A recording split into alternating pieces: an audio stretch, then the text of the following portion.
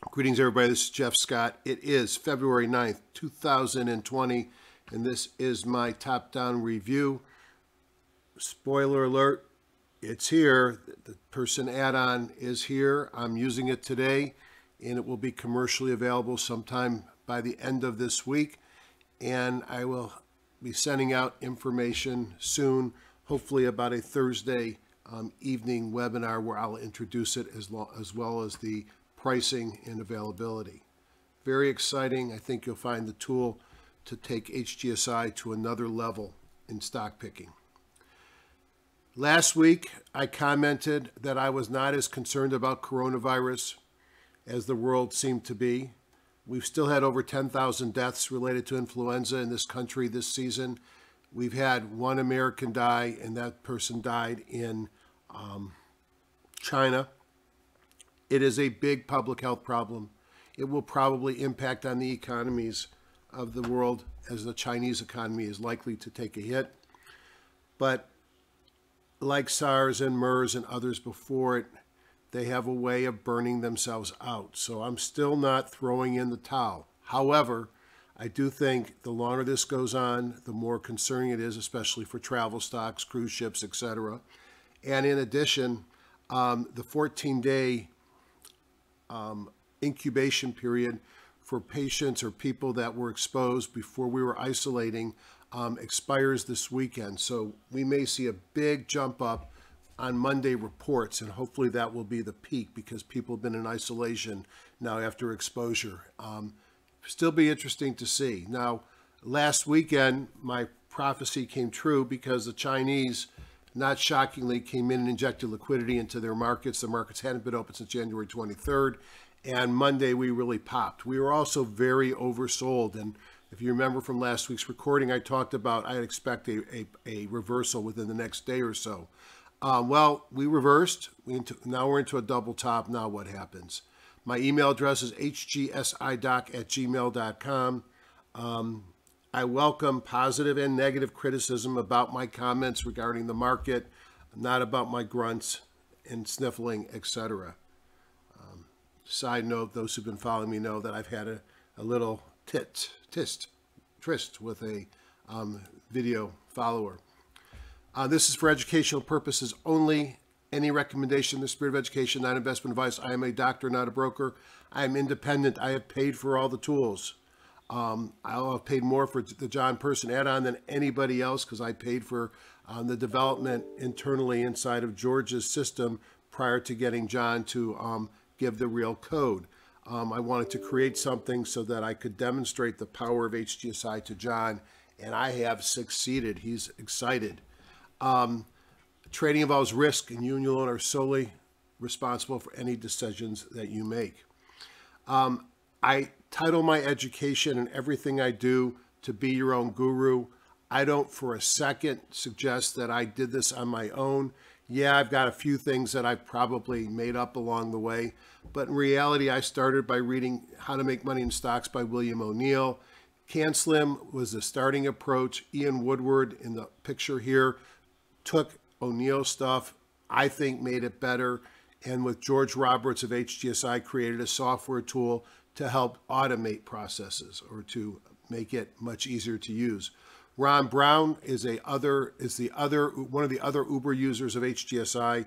He had, had, approaches the market using volume spread analysis. Different approach than I do, but it shows the power of the tool. It is adaptable to however your trading style is. Morales and Kacher, money managers for O'Neill, they help me by introducing new techniques such as um, pocket pivots and buyable gap ups but also talked about how CanSlim may not be a, what's working anymore and how to grow beyond CanSlim. Down the lower left-hand corner is my good friend George Lee, Western Canadian, great trader, great presenter, and hopefully sometime this year we'll get to at least share something online, if not live together. Lower right-hand corner, just calling out Cigar from Superior Profit.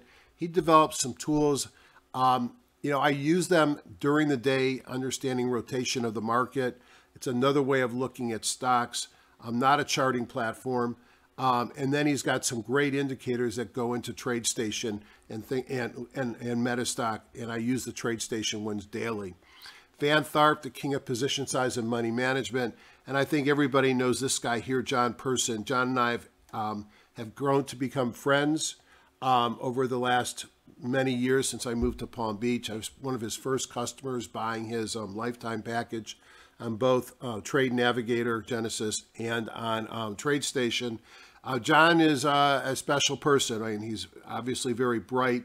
He's been trading as long as I've been a doctor. He owned his own brokerage. He started out on the op- futures options exchanges. Um, and he's developed his own way of doing things. And much of what I do, especially of late, I've learned from him, especially after you get a list of stocks, how do you actually trade them? He's got some great books, and I use his indicators in every platform, which is why I'm so excited that they are coming into HGSI. Now, I own a lot of tools, and I've actually updated this slide because I hadn't updated it in a long time. I use TradeStation and Thinkorswim every day. Even you come into my office at work, just don't tell my, my, my, my partners. Um, they'll be on my computers. By the way, they know what I'm doing in my office at work. Uh, and on those TradeStation and Thinkorswim platform, I use a number of John's stuff. I used to use Genesis a whole lot more. You know, reality is Genesis is probably one of the best platforms out there, but it doesn't hook up with the brokerage that I use. And um, I've sort of gone beyond it. It's stable. Yeah, maybe I should go back and revisit it someday. I pay for it, so I should look. I do my, anal- my, my analysis in HGSI and EdgeRater. I'm going to show you a couple of Dr. K tools. Um, got to know him over the last couple of months, and he just updated one of his tool sets for Thinkorswim, and I think we may be getting to the point where we can start to um, look beyond the existing seasonality programs that many of us use and pay for monthly. And then superiorprofit.com, the Q and Vital Tools. Um, HGSI, the website here, I have no financial relationship. I have a big personal relationship. I have an incentive to keep them going because I call George up and he adds things to the program that we all get access to from time to time. Plus, I use it to make a lot of money. Why would I want to do anything but make sure he's successful? There is a free 30-day trial. I'm not sure that that makes a whole lot of sense. He doesn't even take his credit card, your credit cards. Um, but I will tell you, there is a learning curve. Um, I have some older videos to help people, and along with the launch of the John Person add-on, I'm going to be doing a whole new series of education about how to use HGSI and how to incorporate the, the, the John Person add-on.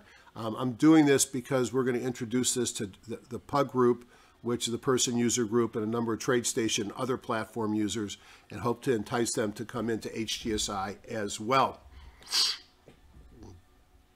Under investing strategies, you'll see hundreds of videos by me, Ron Brown, and others. Now, you always have to ask, where are we in the market? I can tell you, as somebody who's been trading for a long time, when you see this little green circle by, you kind of know it because the market's been going sort of sideways for a period of time. And then you start seeing breakouts and breakouts that don't fail. And you start to notice that the entire market starts to feel like it's going up. You start to get excited, your heart's racing, and then you start to make a lot of money. We are not there right now, folks. There is stage three, which is uncertainty. Uncertainty is part of where we've been the last quite some time because, you know, are we going higher? Are we going lower? There's a lot of question. There's a lot of stocks that might be in trading patterns, ultimately going sideways. And then you get to kind of how I felt Wednesday, Thursday, and Friday, um, where two weeks ago, everything I had earnings were positive and the stocks popped. This week they sort of dropped. And because of some good trades, I stayed up. I made money on the week, but this was a much tougher week. I, I continue to sense that we've got a correction coming. I know John feels the same way. We talked about it yesterday. But, you know, it's not here yet, but I think there's some signals that we should probably pay attention to. Now, if I think a correction is coming, then I better be raising cash, smaller positions, starting to sell some premium way out of the money, and start looking at things on the, the downside. Now, the biggest mistake I've made over the last three to five years is overplaying my concerns to the downside. Um, maybe it's because I lived through 2008 and 2009 and I lived to, to trade again. Um, and I don't want to watch my portfolio take that kind of a hit. But know, my my portfolio would be a lot more successful if I didn't buy insurance. Then again, I've got life insurance. I used to have disability insurance. I got car insurance. I never want to use those. So um, I have started to take insurance. What does that mean?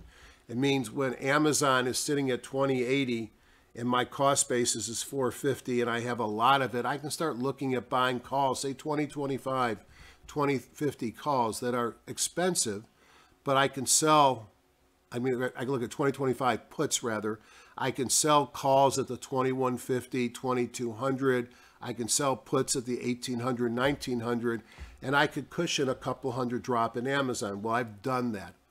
I can buy cheap calls on my Bank of America, or cheap puts rather, on my Bank of America position, which I've got it about, I own it from about $6 up.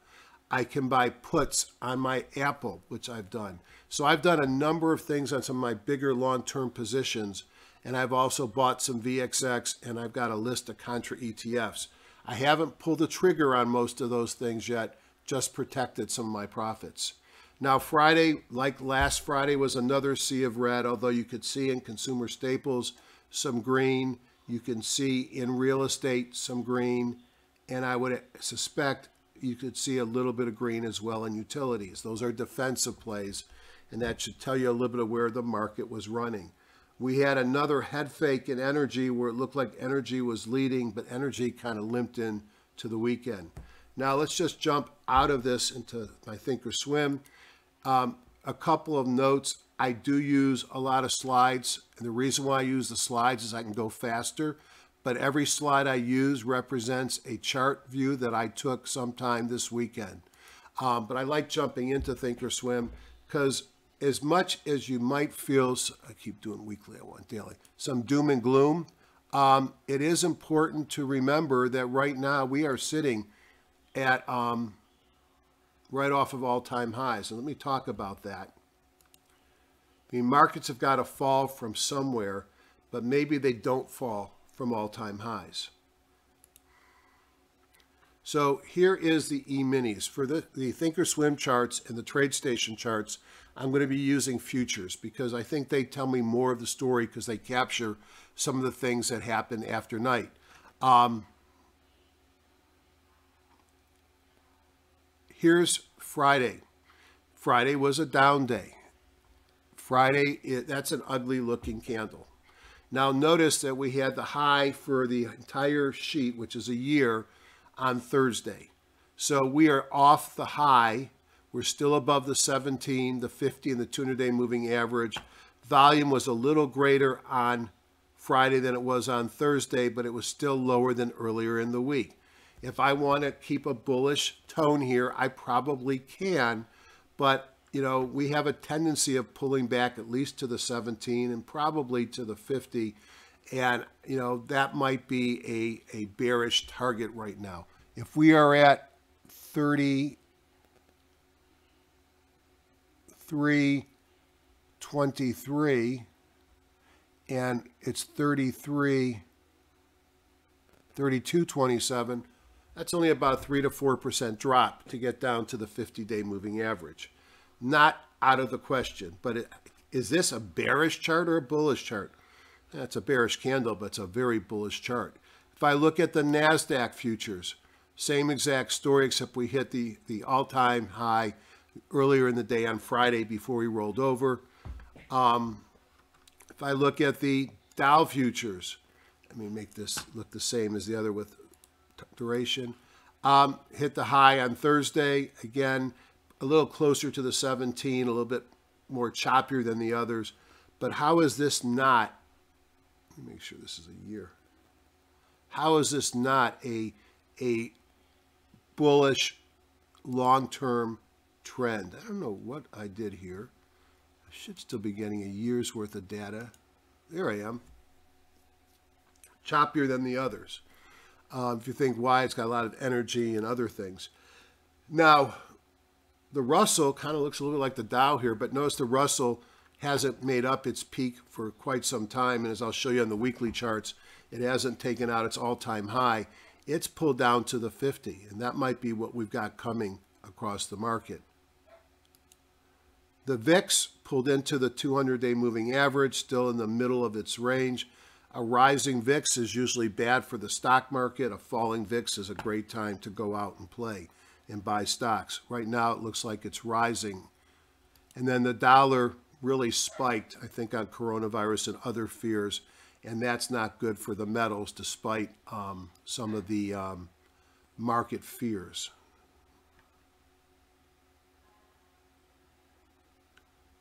All right, hold on one sec. I go let my dog in. Let me see if I can pause this. I always get afraid of pausing this because I've screwed up a few times. Here to resume.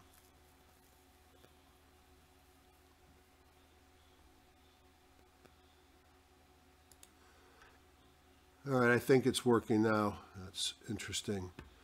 Um, all right, so let's go back and finish what I was doing. Sorry about that if I'm a little confused. I think we were mentioning the VIX, and I just wanted to finish on the, uh, the dollar here. Um, the dollar is really spiking here, and that's not good for the metals. Um, I was making a comment that both John and I love our dogs. His dog is a baby. My dog's a grandpa, and they're needy. So I, occasionally he'll, I'll get called away to do something with the dog. All right, so there's the daily futures. And if I want to look at the weekly futures, let me blow this up.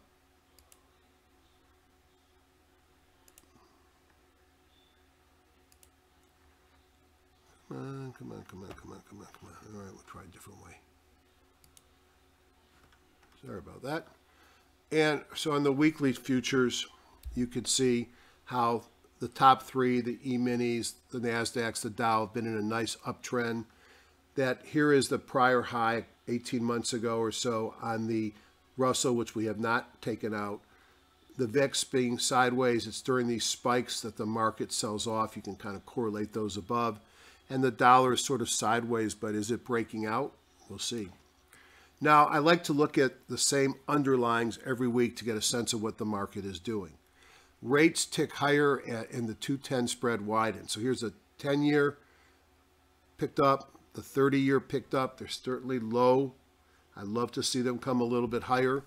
But the more important thing is the, the spread, it's hard to see here with this coloring, actually ticked up a little bit. When the spread gets closer to this pink line, that they start talking on CNBC about recessions. I saw an interesting correlation this weekend about how low the, a lot of people are scared about low unemployment because when unemployment picks up, it usually means a recession and that the markets are in trouble. Okay, I guess in recessions unemployment gets higher, but I don't think low unemployment alone triggers a recession. Now, the AD lines bounced on the week, as did the indexes but they have not taken out their prior highs.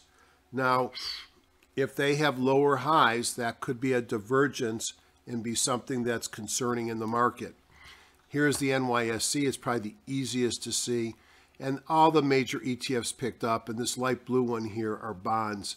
And you can kind of see up here that the bonds are the only ones that actually ticked down a bit um, as the rates went higher.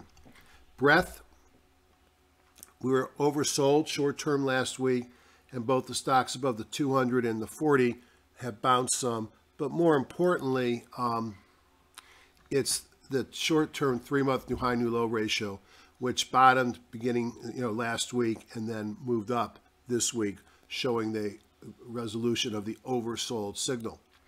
Now the McClellan has now got higher highs and not higher highs on the daily oscillator summation index or on the weekly. That remains concerning. We have clear bearish divergences on the McClellan. So all is not perfect. We are clearly getting closer and closer to a top. But I'm not saying that a top is in. I think a correction is overdue, and we'll show more evidence that suggests that. But you trade the market we have, not what you think we should have. Our buckets. Now, last week, let me tell you, it's easy to trade extremes. Easy to trade extremes. Last Friday, I could look smart and say, over the weekend, we're going to reverse. That's because 30% of the stocks in the S&P 1500 were below the lower band. And then on Wednesday, we have this pattern where almost nobody's below the lower band. That means they all moved up. And now we're starting to approach on stocks above the upper band, 12%, which in itself is not a signal. And we ended the week kind of in a nothing pattern where it's a 50 50 no signal. Now, why is this important to me? And this is a slide that I'll update for my um, education this year. But whenever I see a preponderance of stocks below the S&P 1500, it usually correlates with bounces and reversal in the stock market. Now, that's in a bull market. We've been in a bull market for some time, a secular bull. In a bull market, when I get too extended to the top, I see sideways moves. I don't see draconian moves down. I suspect you have to flip this in a bear market, but I haven't been in one in a while.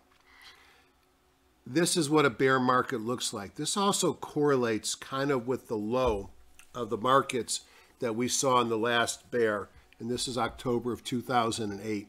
And the only point of this slide is, yeah, I got excited by 30% of the stocks in the S&P 1500 um, being below the lower Bollinger Band. But in a bad market, in a bear, almost all the stocks are below the midline, and you start to get 40%, 50%, 70%, 70% of stocks get to be below the Bollinger Band and then you get a massive recovery, but it can get oversold and more oversold. We had the Hindi fire on the NASDAQ on Friday. We're still working off a series of Hindis on both the NASDAQ and the NYSE. This does not mean anything except you haven't had a major correction without these firing. They're notoriously inaccurate. One out of four is correct. But when I see a, a flurry of them, I expect something to happen in the market market tone. Early in the week, we had a series of bullish kahunas here in blue, and we went out of a chop hindering the bears to a still a choppy market, but more bullish. So the market hasn't given it up. Giving it up is when you get this series of red kahunas and the market starts to turn red. That hasn't happened here yet.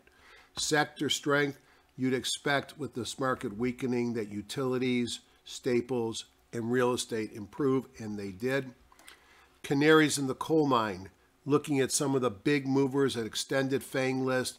Um, yes, I know Priceline's booking. It's already reflected in the chart. Um, big run up starting in October. A pullback or a flag here to that eight day exponential. Um, it's not over. It could certainly bounce here and go higher. How about the index that I created three weeks ago looking for signals of a market top? Well, We're going sideways. We're consolidating at the top. Um, that's not rolling over yet. I look for this as an early warning signal. You can notice that this red marks here represent the Hindenburg signals that fired. Case in point, back here in July, August of 2019, we had a series of Hindenburgs. The market pulled back some, but the mark you, you would have been happy had you stayed long. Might not have known that at the time, though. Now, from a news perspective this week, what popped out of me the most was the Powell testimony on Wednesday and on Tuesday. I suspect he's got testimony to Congress. We've got some CPI, retail sales, we've got some weekly jobless claims, but I think the market will be with bated breath to hear what he says. Is he leaning towards more cuts because of coronavirus? Or is he more likely still in a wait and see? I don't think anybody expects him to say he wants to tighten. I mean, there have been lots of signals coming out of other Fed heads of their lack of comfort with the inflation at the current rate, and you don't fix that um, without a uh, or with a pay with a rate increase. Lots of earnings this week. I'm going to pay attention to some that I have. You need to know your earnings. I've got a fair number of holdings left. I have earnings. Probably the big one for me on the week is going to be Shopify, which I believe is Thursday, is Wednesday, uh, Wednesday before the market opens. Yeah, Wednesday before the market opens. I've got a big position there. I'm going to talk about why I bought it, maybe look at how I'm going to manage it while we're on this call.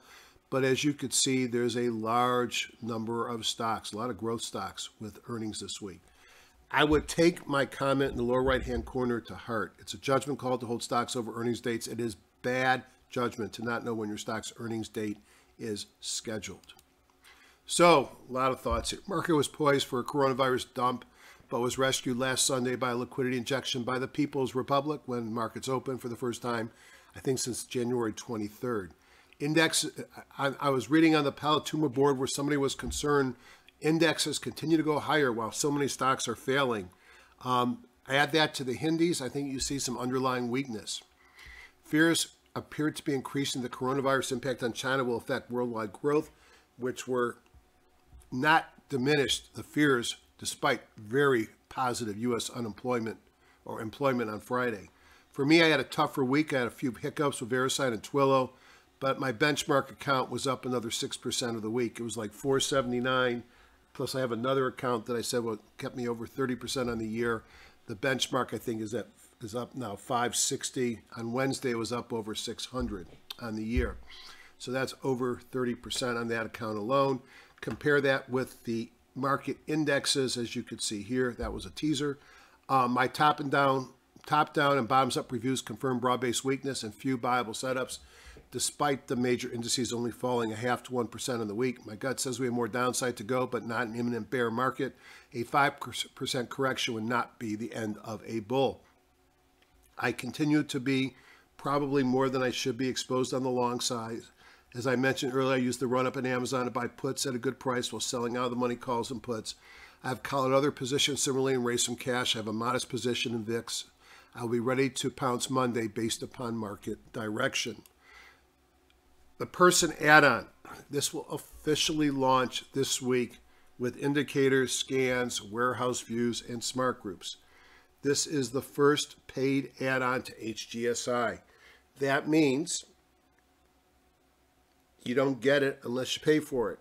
Now, it's sort of the opposite of Ron. Ron has a education program and gives his tools, at least earlier, to the people that um, have participate in his education. We're going to do it the other way, which is we're going to provide education on the tools, but charge you for the tools. We is the wrong word. I'll be doing the education and helping folks, but I don't have any financial incentive on this add-on. I don't want one. Um, it should be available to existing and new users by end of the week. And um, there will be an introductory pricing since I'm not selling it to you, I'm just helping to promote it for, for, for because I'm a nice guy and I want to support both of my friends, George and John. Um, I can't tell you what the price is. Um, I'm also planning a live webinar on Thursday the 13th, which I will um, put out some information probably in the emails and maybe a, a two minute YouTube video for those that don't get my emails. Now, you might ask yourself, what are you going to get that's different?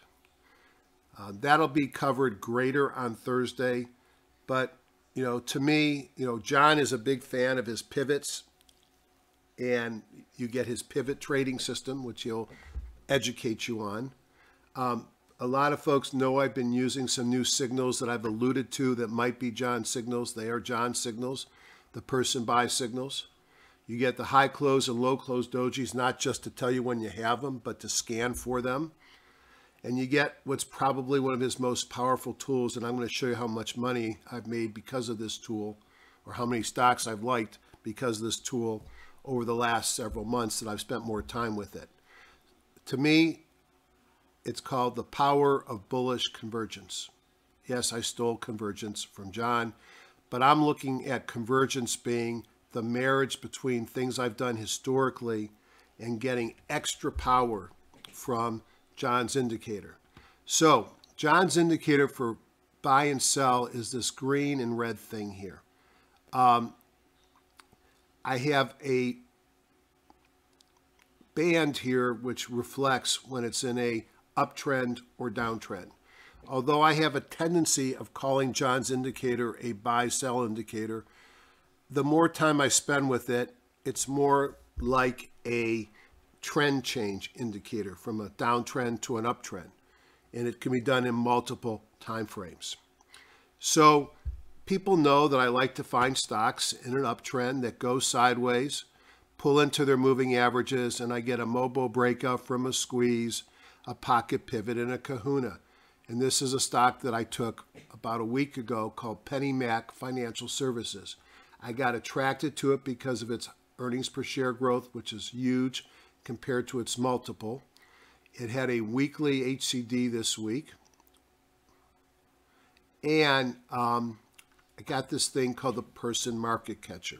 Now I'm going to show you the secret weapon very quickly on the next 10 charts or so. Notice how as we go across this sideways area here on price, the perks market catcher is getting less and less negative. That's not the best example, but that was an example of bullish convergence. Prices going sideways. It's even better when prices coming down. And the person market catcher is going up. That added to my additional signals that I use historically, plus John's buy signal said buy. And I took a buy and I had a nice little move. Here is WR Berkley Corp. Stocks in a downtrend. PMC's in an uptrend is, is, is less of a downtrend, moving up bullish convergence. And what do I have here on the 50? A MoBo breakout from a squeeze. John's indicator fired. Bullish convergence. Kahuna's buy. Republic Services. Stock is coming down. PMC is less down, so you got bullish convergence. MoBo breakout from a squeeze. Person indicator on the 50. Buy. Al Alteryx. Stock is coming down. PMC is getting less negative. And what do I have here? It's kind of mucky in here, so I didn't take the buy to over here. But I have a person buy signal, a MoBo breakout, and a kahuna with bullish convergence. This weakening is talking about the right bar. It's not talking about where I took the buy. Into it, pulling back. And what do I have? I've got bullish convergence here, and what do I see in here? I see a MoBo breakout, a person buy signal, pocket pivot, and a kahuna. Shopify. Oh, this was probably my best trade of the last year. Sharp pullback on a stock that I wanted bad, but I couldn't I could not buy the stock. It kept getting higher and higher and higher. I was looking for an entry. So pull back here to the 200. What do I have in there? I have a high jump firing here. I've got a reversal here. And on my other charts, I've got the bullish convergence. I took that trade for that reason. You had a MoBo breakout from a squeeze come in as well. C, another stock that I own, pull back to the 50. Notice my other signals are not, or the 200 here are not firing. But what do I have here? I've got, I think, a bullish convergence. Certainly, this is falling and this is going sideways. American Waterworks, prices going down, less and less negatively on the PMC, and we have a person buy signal, a kahuna, in a squeeze, MoBo breakout the next day, and a takeoff. Elf Beauty Supplies, sideways move in the stock market, MoBo breakout from a squeeze, clearly bullish convergence on the PMC, and the stock takes off. Motorola Solutions pulling back to support. Here's the buy day. Pocket pivot, kahuna, person buy signal, and bullish convergence. Medical Properties Trust, this is a boring REIT. Price coming down, what do we have here? Off the 50 with bullish convergence. We have a pocket pivot. We have a MoBo breakout. We have person signal and a MoBo breakout from a squeeze. Uh, if you don't think there's power there, go find something else. Um, it is incredible when using, I use that bullish convergence as a filter to find the, the stock I want to buy today. I couldn't do that in HGSI before. So let's go take a quick top-down review. And this probably will go longer because I'm going to show you some of the things that I've been doing with the person add-on. The advantage of doing the live session is I can answer your questions as well. So let's go into TradeStation. I do the same thing every night, and I like to look in here. Now, I actually don't show you much of the PMC, but I have it in TradeStation as well. Um, but I'm not going to bring that in today. I'm going to look at the indexes with the six points that I normally do.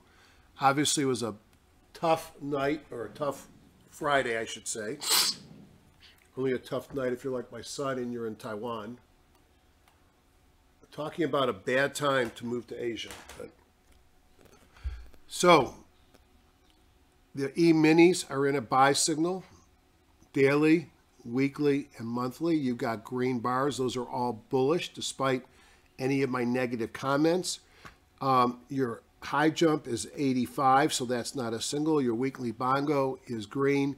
So we had a very short-lived sell signal. We're now at the top of the channel here. So we got MACD divergences on the weekly. I look at this and I see an extended stock market, but one that could still go higher. But extended markets ultimately will correct. On the NASDAQ, we're at 94% on the high jump. Everything else is the same. Again, an extended marker getting closer to rarefied air. The Dow, only 79%. You can see the MACD divergences. And why do I say there's MACD divergence? Well, if I look at this high here on price and this high here on MACD, and then I look at a higher high and no MACD presence, that's a bearish divergence.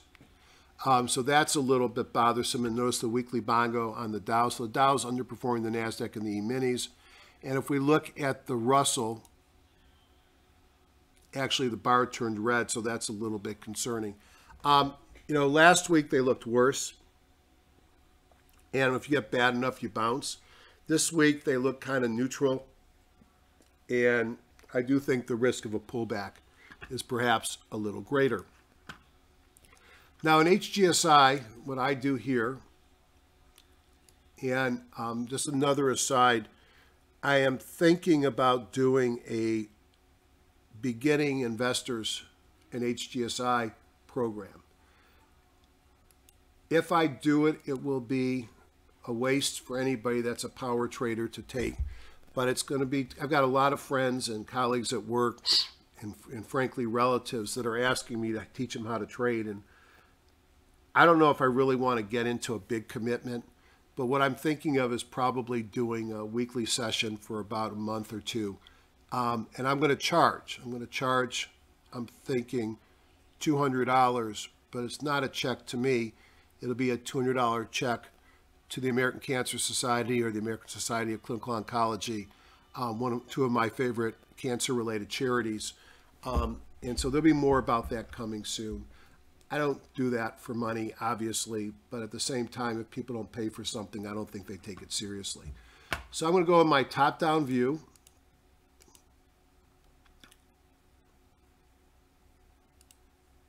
And a couple things I want you to see.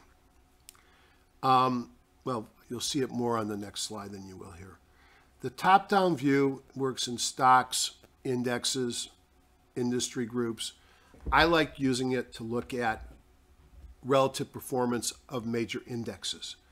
I make sure my combo ranking is what I'm ranking on, and it tells me that with this view, the strength in the market were bonds and NASDAQ, interestingly. The weakness were small caps, mid caps, gold, Russell, oil, short term Treasury Pro shares. All right, that looks at a one day and a five day window. Um, a little bit for three weeks, but it's mostly a one day window. If I open up and look at the S&P 500, and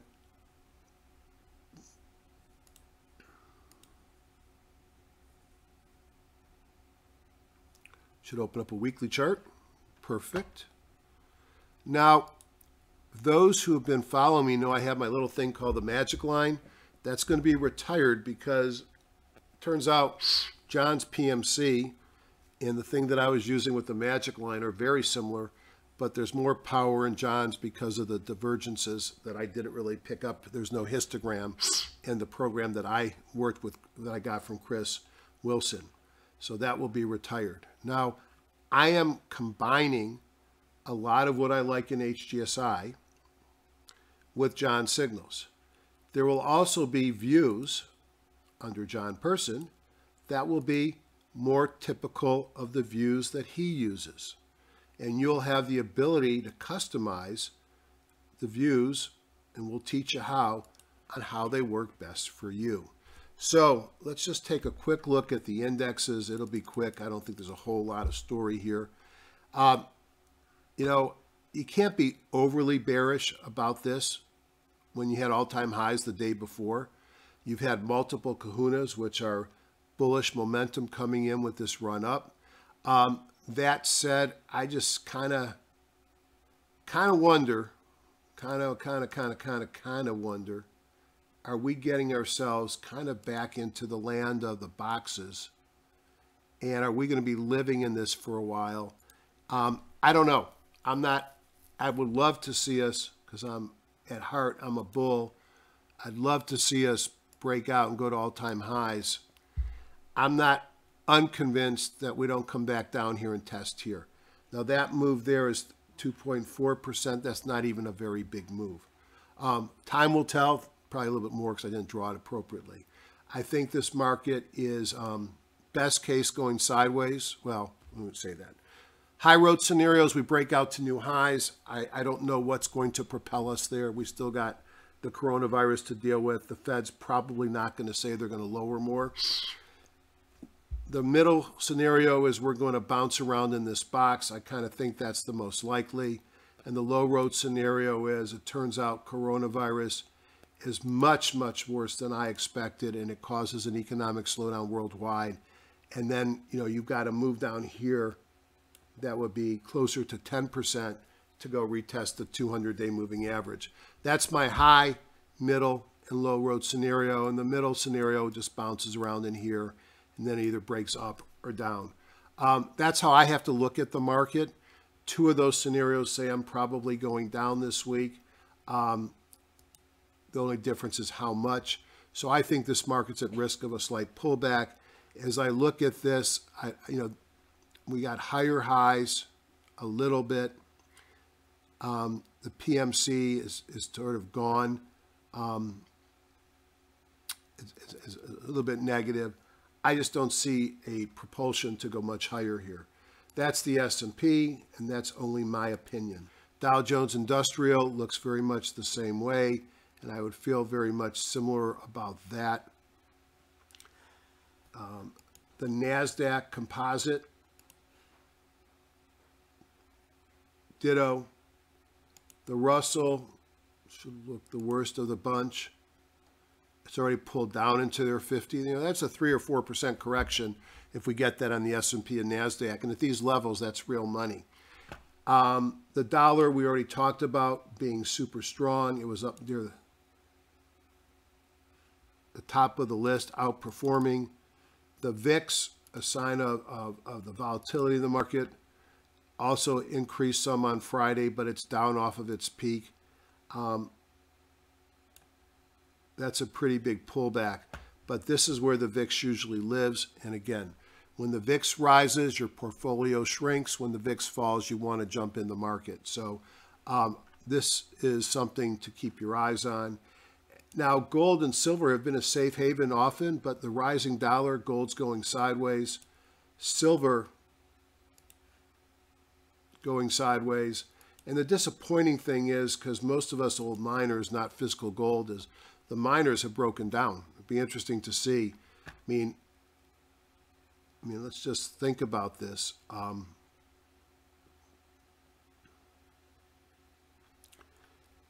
we have a breakdown of the 50. We failed at the 17. Our PMC is decidedly negative. We had a kahuna and a MoBo breakdown. Um, compare it to this prior low, which was similar, and the PMC is worse. I think this, this just shows the weakness in the miners. Second thing I look at is industry groups. Let's see if this even works today. I have 175, and I'm going to look at two-day force up. Hey, it worked today. Imagine that. What I want, what I'm going to include in my add-on is going to be when you look at this, now you could see by index how many new buys, new sells, and what percent of the index is in a buy or sell. So internet media is quite strong, and you could see 80% of the index is in a buy, and a little bit less than 20% are in a sell. That's a strong group. Let's take a look at some of these. Twitter.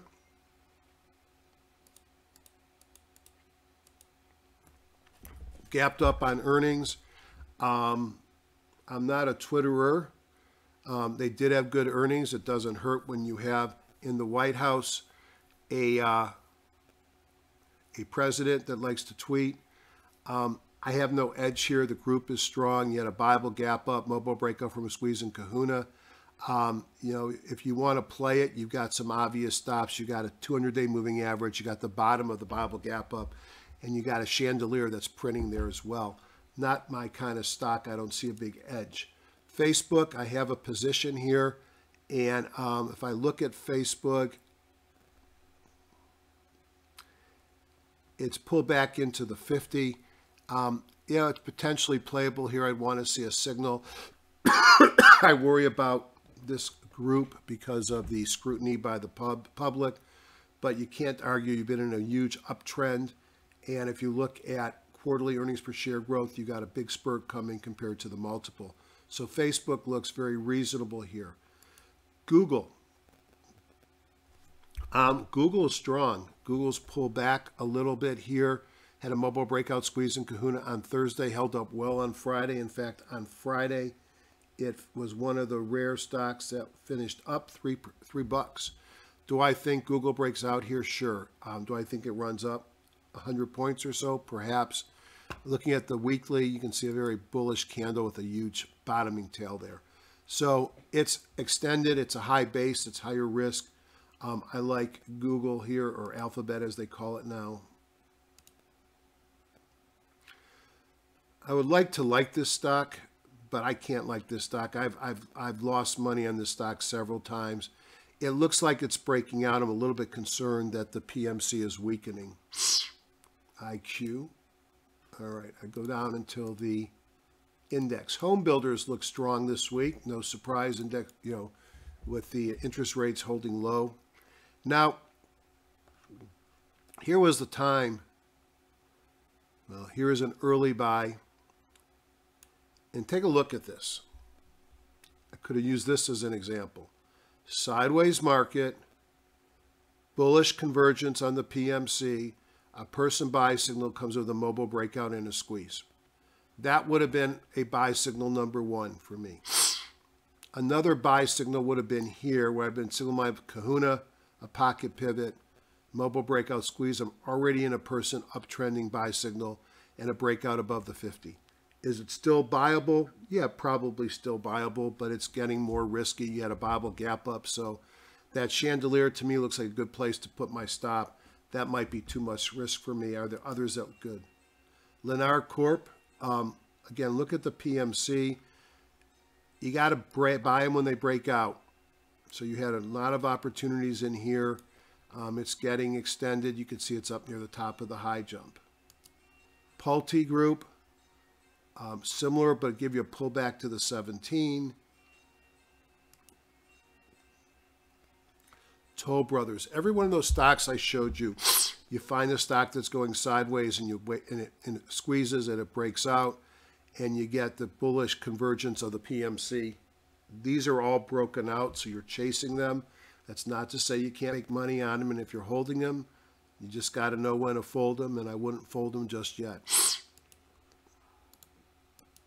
So don't see anything here that's a perfect setup, but I can see interest in the home builders. The generics.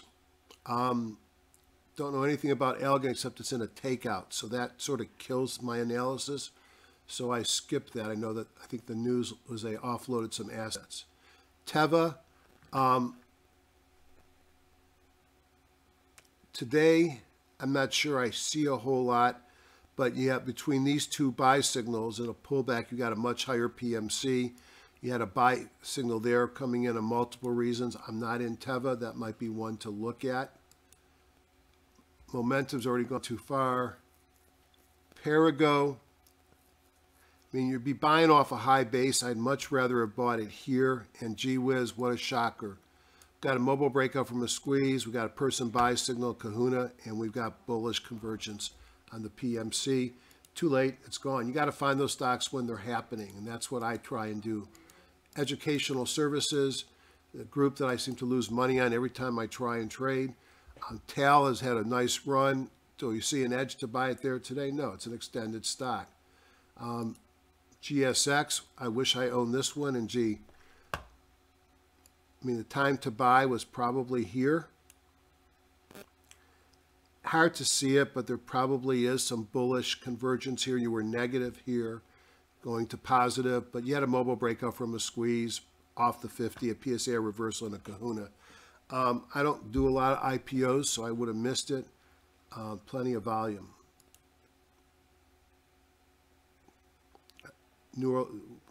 Nice high, nice tight run up. Um, I just don't see a, an edge to buy it here.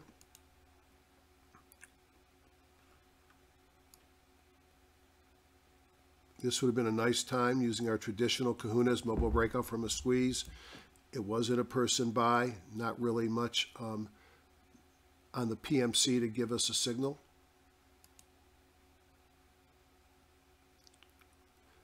Grand Canyon, nope.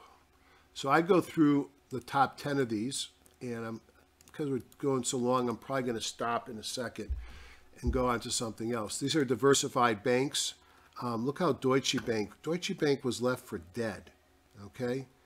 I thought, and then what happens here? Kahuna, person buy signal the day before, buyable gap up, MoBo breakout, and off and running. And oh yeah, look at the PMC incorporating that PMC may be the most important thing on this add-on. And I'll show you some of that in a few minutes. Bank of America, the banks kind of like this. Pull back into the 50. Um, may turn out to be a good time to buy. I have a fairly substantial position from the old last recession, bear market and I'm holding on to it. Of course, I bought some puts. Citigroup looks the same. So I could go through the top 10 groups. Um, I could look at two-day momentum to the downside, and you could see you went from a small number of groups to 47. Let's look at semiconductor devices, for example. Marvell Tech. So I'm still, I'm not nearly as good as using these tools to the downside. We've been in a bull market since 2009 for 10 years. I haven't had a whole lot of opportunities of going student body left and shorting everything. Um, I'm going to get sharpening up my tools. So I probably could have looked at this and said, gee, what happened right here? I've got a person sell signal. I've got a kahuna. And I've got a PMC divergence. That would have been a great sim to look for. All right, so maybe I'm going to have to start finding those and building a scan for that. Maybe we already have. Qualcomm, double top, rolls over here, PMC, pos or negative divergence. Maybe it works to the downside too. You got to be kind of at double tops, double bottoms to really show that. So obviously you see a lot of red bars above the, the indicators. These have been big growth, big winners. It should be whether they're pulling back. Um, as always, I like to review. I said my performance, so I'm going to go there. Again, you have to ignore these numbers because I take money out all the time. Only one number should matter, when you look at a trader's performance. What do they start the year with? And after I paid my taxes, it was about 1.7. What do I have P&L for the year? Whoops, not that one. I had that. 568. So if I started the year with 1.7 million, and I've got a calculator here because I used to be able to do this in my head. I got 560, I'll uh, call it 9,000, into 1.7 million times 100 means I'm up 33.47% year to date. Um, I have another account that's up as well, um, but I'm not going to add that because then I'd have to go pull that up to show you. I still have too many positions. Um, since I'm here, let's look at Shopify because I mentioned that earlier. I've got Shopify. I've been made a lot of money on it. I've done my roll up and out of my calls, so I've already banked a lot of money. I highly suggest you go look at that. That's something that will include in my education. Um, but let's take a look at Shopify right now.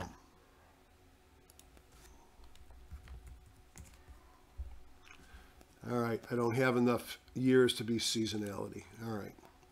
So here's Shopify, big run up. Certainly looks like it's going sideways now. Um, the person, the PMC, really isn't doing much. It's going sideways as well. We've got earnings coming out. Earnings are in a couple days. You can see the run we've had off the low. So I was hoping that I'd have some seasonality to give me a clue. Let me just open up Magenta and see if I have it there.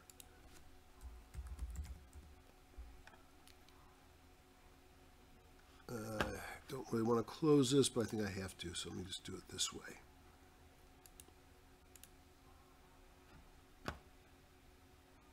Actually, I'll use, I'll use magenta. I know that for Dr. K's seasonality, he requires 12 years. Um, and there's not 12 years in there.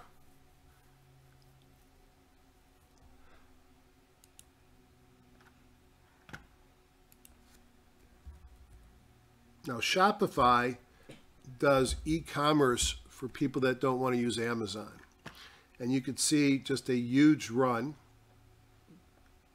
Let's see what happens if I do a 30-day scanner. There's not going to be enough time. It's a too new of a stock. Yeah. So we're not going to get any seasonality on Shopify.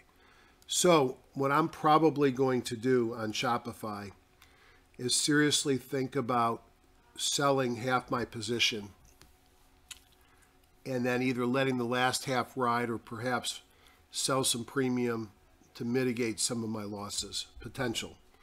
Um, how much is mark? How much is it going to move? If I go into here and I look at it's this week.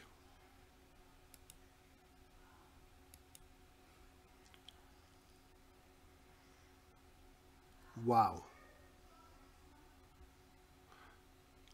As much as a $47 move, one way or the other on Shopify. Now, $47 on 478 is about 10% move.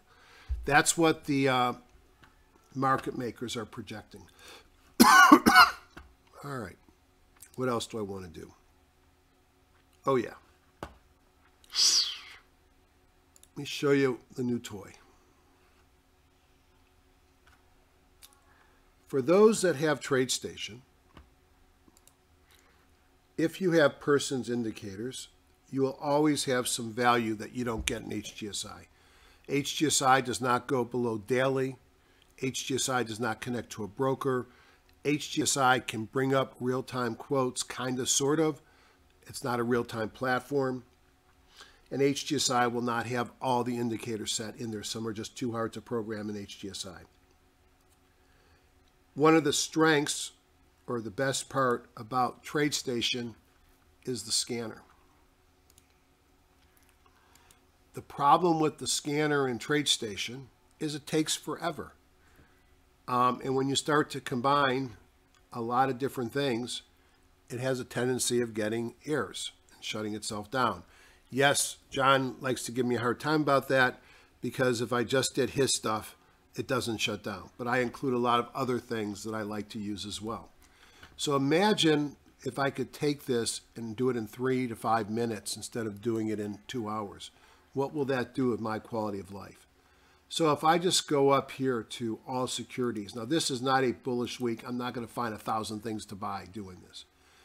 And I go into John Person. Most of this will be in the indicator set that we have. Um, I can look at signal one. This is all securities, and I got to change the name here because I messed it, and new buys. So these are all securities of two and a half dollars and 250,000 with a new PPS buy. There are 82 of them. I've ranked them in the view with a two-day force up that I added, And what I'm doing on the ranking is I'm giving a buy signal heavyweight, a weekly high close doji gets heavyweight on the last bar. I'm giving some force, I'm giving some index, the more buys in the index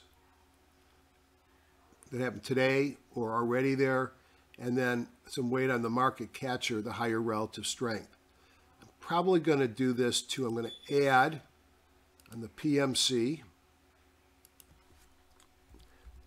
Uh, this is I'm, I'm playing with this. Right, this this won't be in what you get.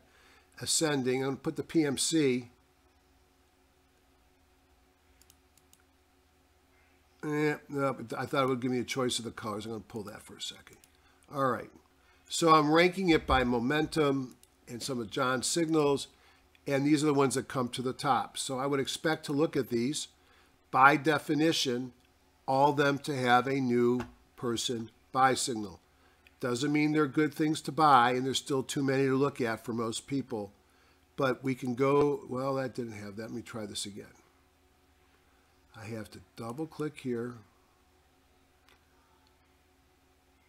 82, and make sure I got the same. All right, next one was PulteGroup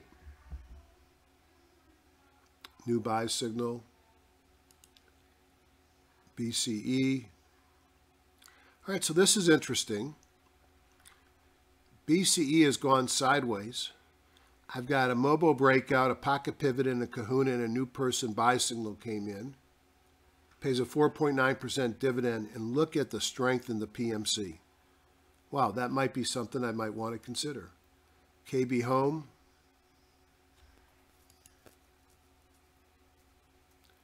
So you can go through these looking at them, or we can look at what's next. Person buy near weekly support. So I don't have weekly support on this, but the, that's a buyout, so I don't care.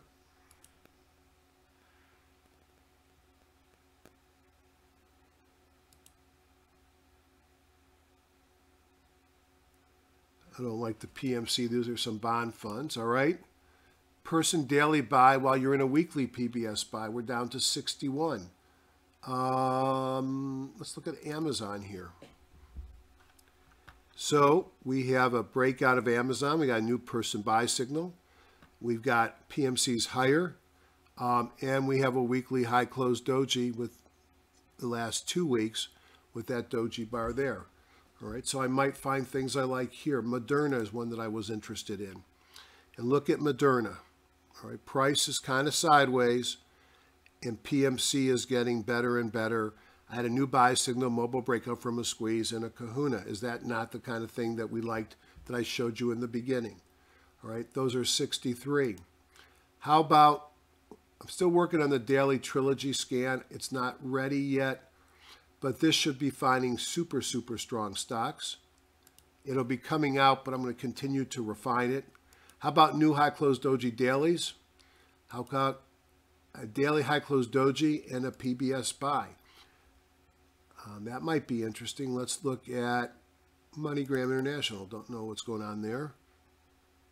Um, again, if you believe this stuff, it doesn't really work on the weekly here. It's not the PMC is not helping me, but I got a daily buy, sideways stock, PMC is clearly higher. I just don't see the enough momentum. I'd rather be above the 200-day moving average. All right. All right, now we're talking. Is this not the exact same type of slide I showed you in the beginning? Are we in an uptrend? Absolutely yes. Did we pull back to support? Absolutely yes. In this period of sideways move in the stock, what did the PMC do? Much improved. Then I got a person buy, a MoBo breakout from a squeeze, Americold Trust. That looks interesting. All right, number seven, person weekly buy, not is 104. Person new HCDs, 190. We have we're over filtering those or under filtering because in TradeStation they won't give you two in a row. Once you get one, it negates the second. We haven't negated it. It's still a high close doji. Um, how about a high close doji with a new buy signal within two days? This is a, a type of a trade that I've been making money on for. This is my this is my trade. Let's look at Boeing. So it's got to have a weekly high close doji, which means in a downtrend, you had a doji, and within three bars, you closed above the high of the doji. So we clearly had a high close doji. Check the box. Then it says I had to have a person buy signal within the last two, did I do two? I thought it was two bars, but it looks like I gave three.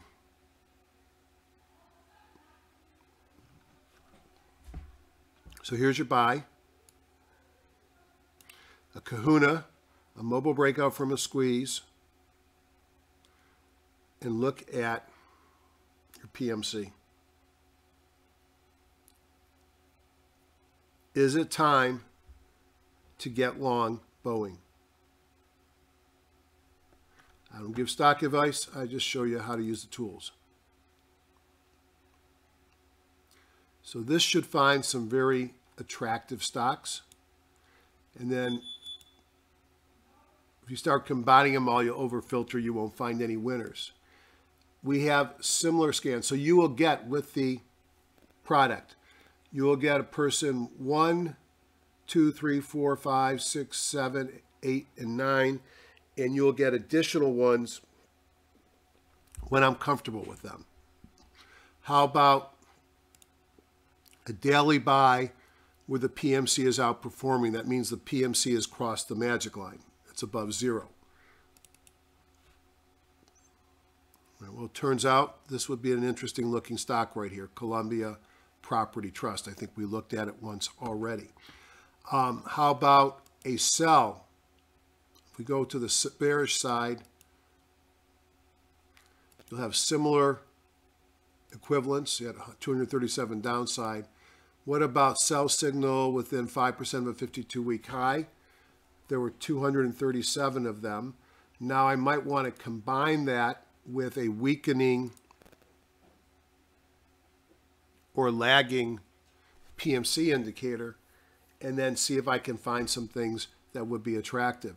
It's a great tool. I can't wait for you to get it. And I like to end up on my buy watch list. So let's just do that. And did you notice anything, folks? Yeah, there's not, I did not find a whole lot of things that I wanted to buy. Let me just, and you notice also in my view here, you can see PBS buy, the last signal. We'll talk about restoration hardware in a second because I don't buy everything on this list. This is the weekly, this is today or the last trading day. This is the current signal, how many days the signal has been there, high closed doji, low closed dojis, what percent of their index is a buy or sell, and the PMC market catcher condition. How much information is there? That is a ton. Let's look at, for example, can't buy this before me, that's a, coming me a promise, Coherus. What do I see here? I see a sideways moving stock, clearly basing. A squeeze. I had a MoBo breakout a couple days ago. I had a kahuna on Friday and I have a PMC, a, a person buy signal earlier in the week, and my PMC during this period of time has gone from negative to positive. To me, that looks very interesting. Um, did cross the magic line on the weekly, but we're retiring that as well. Um, so the Coherus looked interesting. Anilin Pharma also looks interesting. Sideways move pulled to the 50. Um, notice the uh, PMCs becoming less negative. Um, higher base, higher risk.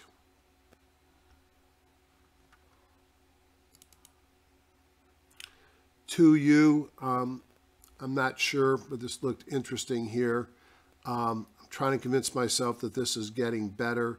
And I guess if I compare it to this low here, it's probably about the same. So I'm, I'm, I'm not sure if I buy that one yet. HEICO, another one. I don't think there's any question that the PMC, go to back here to here, PMC is improving. You got a new person buy signal. Came in back here though, but it hasn't moved that much out of a squeeze. That looked interesting. Um, restoration hardware, not now, not yet. I'm just starting to watch it. And I'd like to see what it does. Its earnings are not until um, March. So you've got a little bit of time. So this is one I'm watching right now. It's sort of setting up in a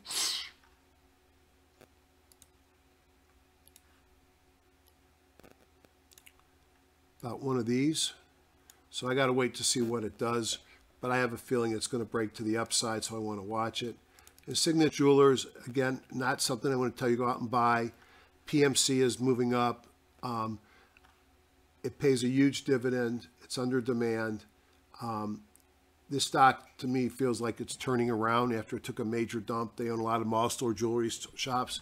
That's kind of why it took a major dump. Um, so what am I going to do with all of these? And I'm going to go back to TradeStation and Thinkorswim, and then I'm going to finish.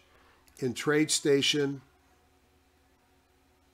they go into my, I watch them during the day here, but more importantly, I put them into the TradeStation trading platform so I can monitor for new signals, looking at my Q signals, my HGSI signals, and my person signals.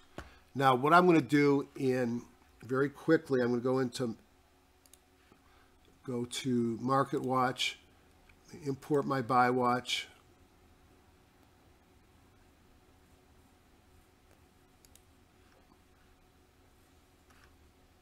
That was last week's.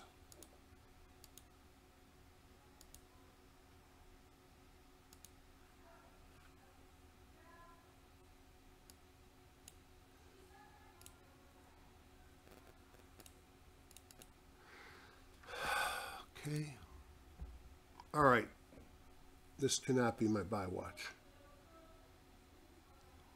Hold on a second. Not that big. Did I bring the... Oh, wait. Try this again. 2.9.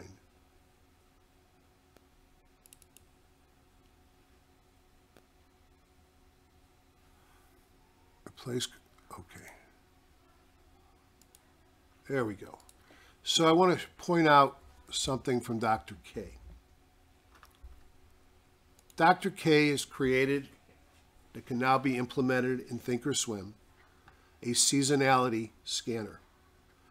If you see a 1 here, that means either in 20 days, 40 days, or in 60 days, there's at least an 8% move. If I go and I look at something like Signet Jewelers, that doesn't look that good yet. Let me go back and see one that might look better. Well, none of these look great short term. Let me go down here and see if I got a winner. The NASDAQ 100.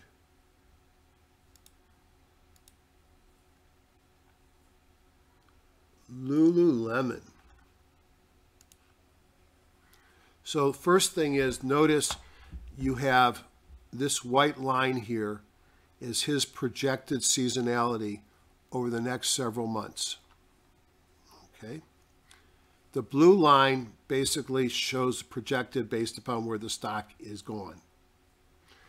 In the works, the watch list, He predicts a 10% move in 20 days, 21% in 40, and an 18% move over 60 days. How valuable to you would it be to be able to find those stocks that and show their plots within Thinkorswim without having to go to another program? I thought it would be valuable. I bought the product, and um, I'm going to have Dr. K do a webinar soon for my followers and for HGSI users because I think that this is a wonderful tool that allows us to put into every watch list, okay, every watch list that we might have. Uh, let's just pick something that uh, public list and be able to look in that watch list and identify which stocks in that watch list have a very good short-term and intermediate-term seasonality. Let's look at this one, AIG. I didn't make any of my watch list. What happened? AIG's got very strong seasonality. And then I would combine that with some of my other indicators. Look at what PMC is doing. It's sitting in a squeeze. Um, this is interesting looking. So I can either scan from the bottom and look at chart after chart, or I can start using tools like this to help drive me towards instruments that have an outsized move coming. On that note, I want to say goodbye. Have a great week. And um, look for a note about upcoming webinar. Thanks, everybody. And thanks to John Person for letting us put his add-on, paid add-on into HGSI. Goodbye.